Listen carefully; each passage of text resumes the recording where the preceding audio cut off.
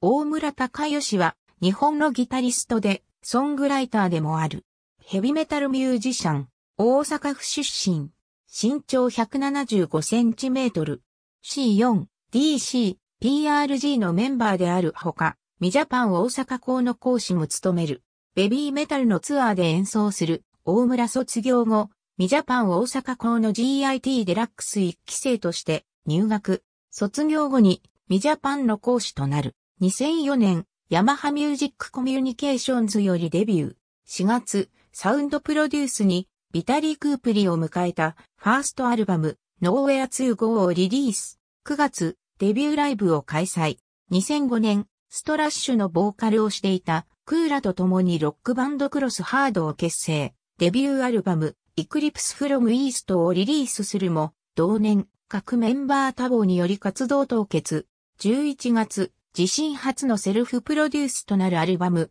Power of Reality をリリース。2006年、クロスハードでもベースをプレイしていた元スパイラルフリーのカオルとグロリアを結成。2007年8月、アルバム、 Emotions in Motion をリリース。2008年、マーティ・フリードマンのツアーに参加。以後も継続。また、マーティと鈴木慎一郎のユニット Love Fixer のライブにもサポートとして参加。2009年、台湾の超恵み妹のアジアツアーに参加。2010年、ハイオン 4U のライブにサポートとして参加。同年、アカネリブ率いるリブムーンのライブに参加。以後も継続。2011年、菊池成功主催の DCPRG に加入。同年12月、C4 にサポートを経て、正式加入。ギタリストミユの作品にサウンドプロデュースとベースで参加。2012年12月、5年振りとなるアルバム、デビルス・イン・ザ・ダークをリリース。合わせて8年ぶりにワンマンライブを開催。2013年、ベビーメタルのバックバンドのメンバーとして参加、以後も継続。同年、鉄色クローン X のライブにバンドメンバーとして参加。2014年、野水よりのライブに参加。5月、マーティとガス G のダブルヘッドライナー EU ツアー、ギターユニバース2014に参加。9月、デビュー10周年記念ライブ、 The Chronicle of Metal Lovers 孝佳大村、 10th Anniversary を開催。2015年1月、2012年に発売された。アルバム、 Devils in the Dark にライブ DVD などを追加した。 Devils in the Dark。 Final Edition マイナスをリリース。7月、元アズリエルの黒瀬圭介が結成した。リーボーリスにメンバーとして参加。2016年1月、ワンマンライブニューイヤーズセレブレーション、ザ・ギャザリング・オブ・メタル・ウォーリアーズ・マイナスを開催。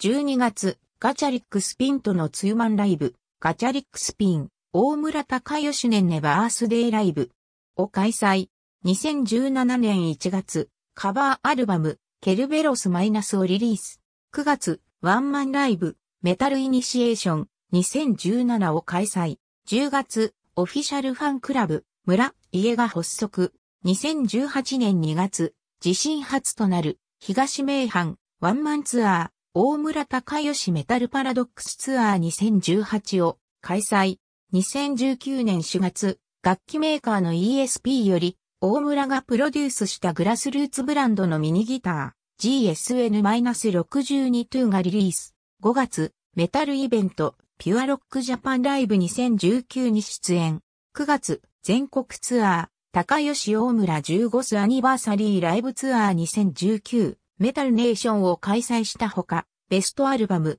IRI S をリリース。3歳からピアノを習い始め、11歳でアコースティックギターを、14歳でエレクトリックギターを弾き始める。幼少期からフォークやクラシックを聴いていたが、高校2年の頃にジャケット買いしたドッケンのアルバム、 Under Lock Key を聴き衝撃を受け、HR、HM 系のギタリストを目指すようになった。大村は、私を構成する9枚と題して、尾崎豊の17歳の地図、TOKIO のベスト EP セレクションオブ TOKIO、 globe の Faces Places、 GLAY の Review、 Best of GLAY、ラプータのジャチャ高校、キンキキッズの A アルバム、マリス・マイザーのラコレクションメルベイユーズ、エル・アーク・イーエヌ・シエルのハート、河村隆一のラブを挙げている。プレイスタイルはサークルピッキングを用いた即弾きが特徴的である。また、自身のギターにはハーフスキャロップ加工を施しているものが多い。大村は C4 への加入の経緯について自身のブログで僕が中学生の頃からのラプータファンだったことや、トキさんがまた来てるというか、絶対面白くなると感じたので加入しようと思ったのですと語っている。2018年、死であり、親友でもある藤岡剛大の訃報を受け、藤岡のギターやアンプといった機材を継承し、自身の機材と同等に扱っていくことなどを公表した。ギタースナパー大村カスタムのエクリプスゴールドとロイヤルシルバーは ESP より2014年に市販された。ただし、本人が使用しているものと違い、ヘッドの先端にある大村のマークはなく、代わりに大村のサインが入れられている。7原子用のシグネーチャーモデル。大村がソロで頻繁に使用している旧フレット以降にハーフ、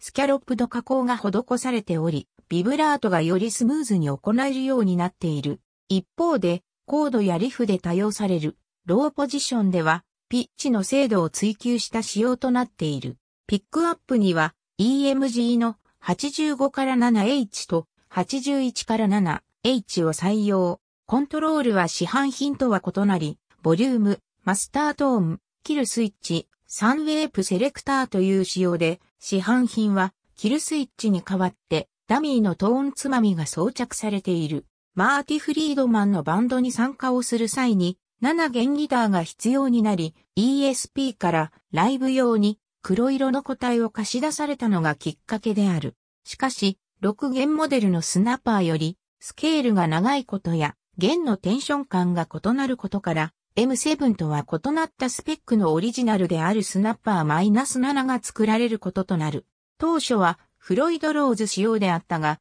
シンクロ仕様に大幅に木部を改造しヒップシャット、セーブリッジを乗せている。その際に塗装を元の黒から本物の金箔を貼り付けた現デザインへと変更された。また、PU も C もアダンカンダーソビー -1 を経て、現在は EMG の7781から7という構成になっている。デフォルトのスペックからスナパー -7 に類似したスペックに改造がされ、スナパー -7 のサブ機としてたびたびライブなどでも参見された。しかし現在は大村氏のツイッターからの情報ではレコーディングのメインとして使っているようで登場する機会は少ない。藤岡剛大が使用していた10機で、フロイドローズの搭載や太く厚いネックが特徴。コントロール類も多彩で、様々な現場に対応できるモデルになっている。エフェクターシグネーチャーバッファーアンプで、自身のライブやレコーディングの現場で使用されている、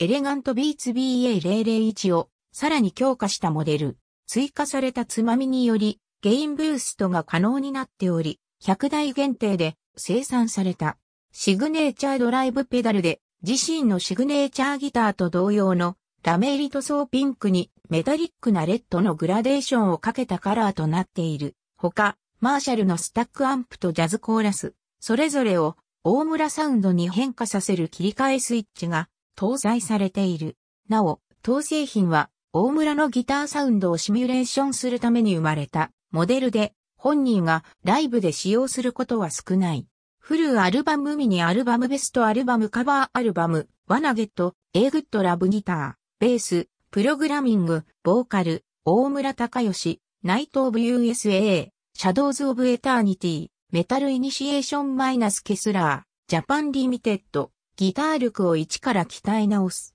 列奏ギター道場、進行ミュージックエンタテありがとうございます。